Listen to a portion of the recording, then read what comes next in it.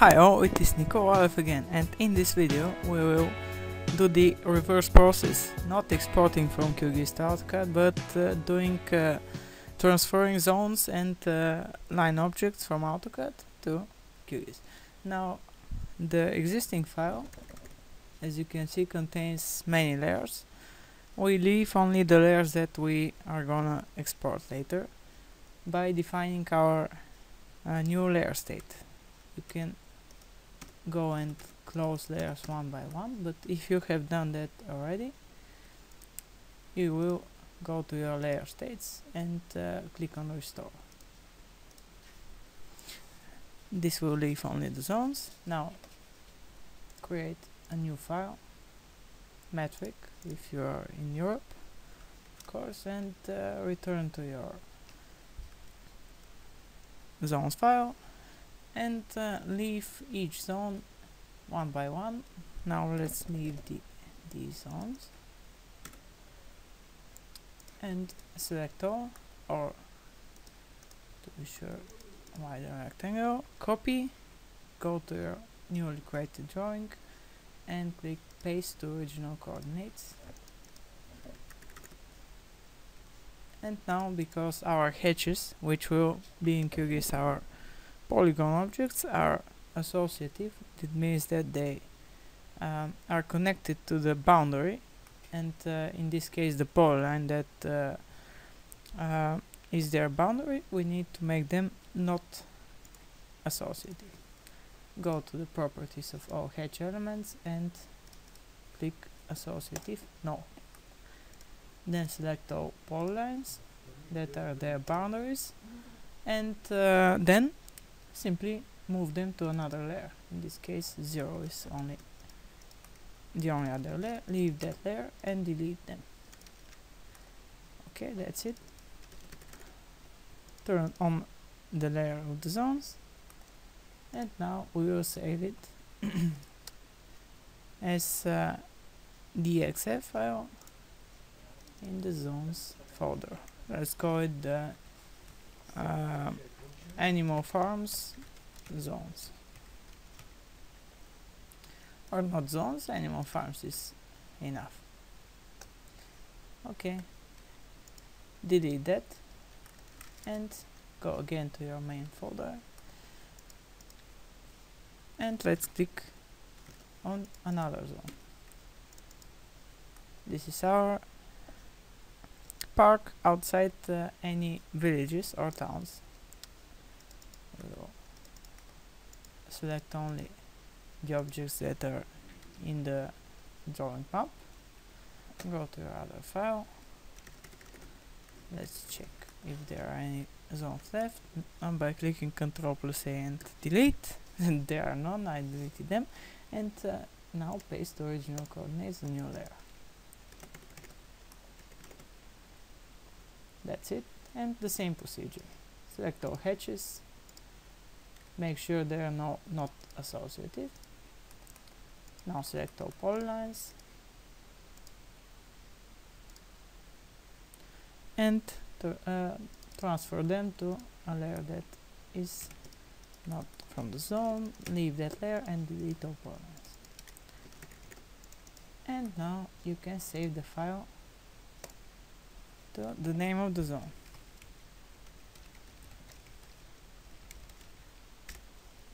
that's it. And you will proceed doing that for all the zones. And for zones that contain uh, not only po uh, polylines but uh, also um, hatches. And we need to keep both. We have several ways to do that. First uh, we can delete uh, the boundary only and keep the element which uh, we will later use in our project again the same procedure. Go to your properties panel click on the hatch make it not associative and select all polylines and transfer them to another layer.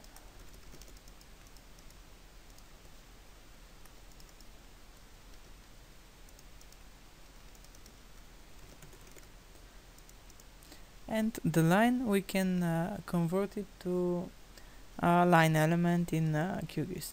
A better way to do it, I will undo that. A better way to do it is to define your own hedge that is uh, in the zone which contains the lines. Let's go to hedge by typing hedge, inherit properties to place the same hedge and hedge the object here. Now we can safely delete this line and in QGIS on this po uh, polygon object which will be in the same layer we will uh, adjust the symbology uh, because the difference is that if you have both lines and, and uh, polygons in QGIS you need to define another layer and it will be somehow inconvenient to create more layers. After I've done uh, some uh, zones already, at least six, we need to make sure that we don't include uh, the same zones again. So I will freeze the zones that I've already done, I remember the names that and uh, check the names. Or even you can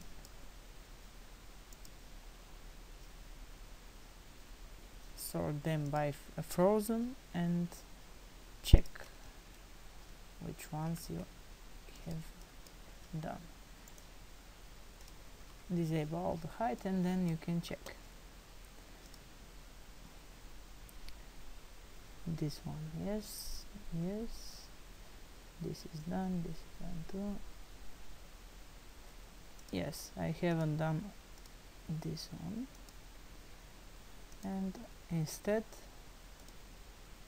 I've already transformed and don't forget to define new layer state.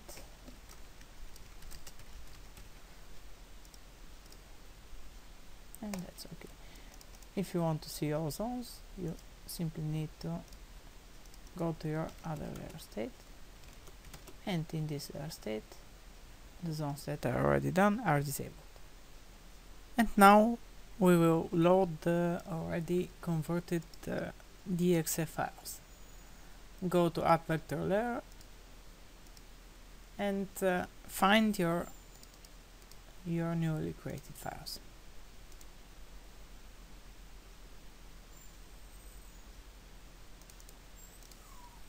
You can load it, load them all by at once.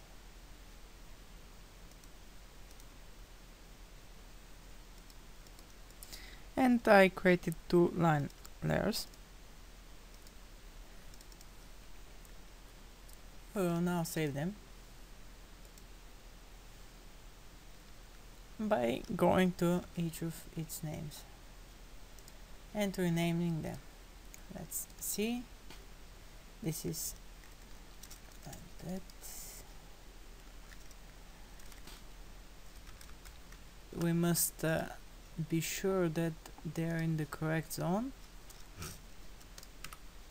I will close all layers and one by one you will see them appearing when you change the zone. Now the last part we must save them as uh, separate uh, shapefiles which we will later merge. Now let's uh, go to file, uh, right click on the layer name and save as. It's quite simple, we've done that many times before and just uh, choose your folder. Uh, let's create a folder and save them each with their names. It isn't necessary to add them actually. And now the last of the polygon layers.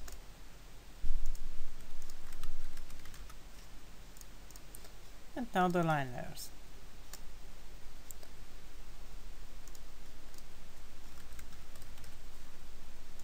Let's save them to another folder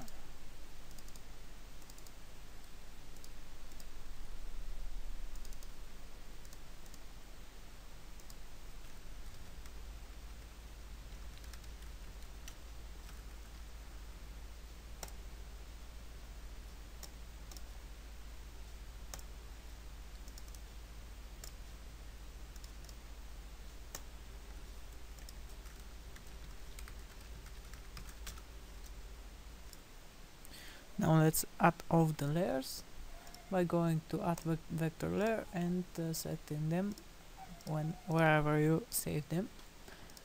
I save them here. And you just click on as with shape files.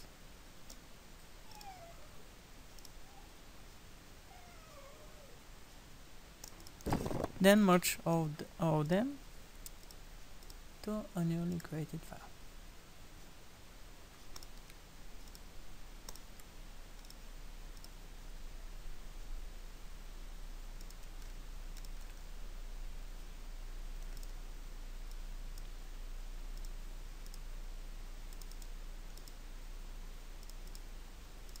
that's it.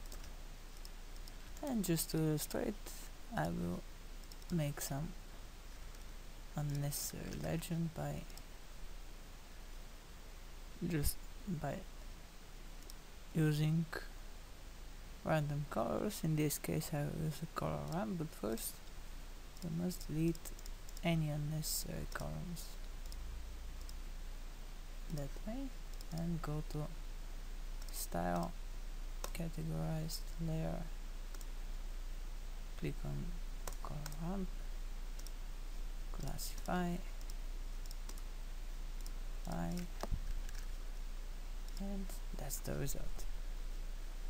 Simple stuff but uh, you can easily correct the symbology later.